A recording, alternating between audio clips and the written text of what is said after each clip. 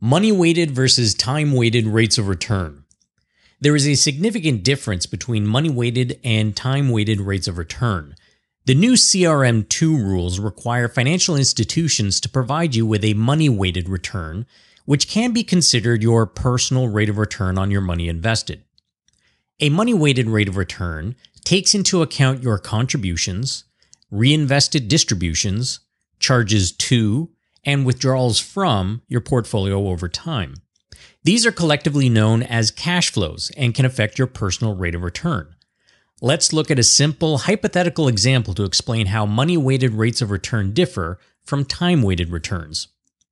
Let's start with the time weighted rate of return calculation.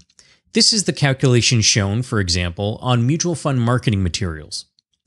Let's say we have a mutual fund that does really well in its first year and increases by 25%. But in year two, the fund loses 20%. To figure out the time weighted return, which ignores the timing of contributions or withdrawals, we can use any lump sum investment amount and see what would happen to it over these two years without adding or taking away money during this period. If we use a starting lump sum of $100,000, it would gain 25% or $25,000 in year one. So now we start year two with $125,000. If we lost 20% in year two, then $125,000 times 20% is $25,000, which brings us right back to $100,000, or no overall gain over the two years. Therefore, the rate of return using a time weighted calculation would simply be 0%. Now let's take a look at the money weighted rate of return calculation. And remember, this calculation is affected by when you add or take money away. So using the exact same investment, let's see what the rate of return would be using a money weighted methodology. Instead of putting in $100,000 to start, we put $50,000 into the fund at the beginning of each year. In year one, our initial $50,000 earns 25% and grows to $62,500. Now we put in another $50,000.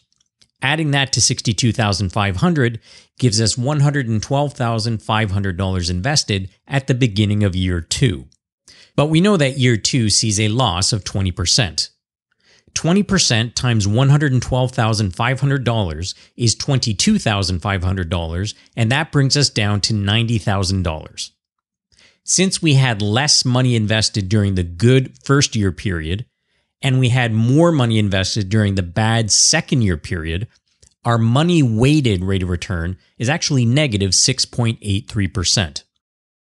As you can see, even when using the exact same fund performance, you can end up with two very different rate of return calculations. If there were no cash flows during the period, then these two rates would actually be identical. But as soon as you take into account the timing of your contributions or withdrawals, they will start to differ. That's why money weighted returns are sometimes considered to be personal rates of return.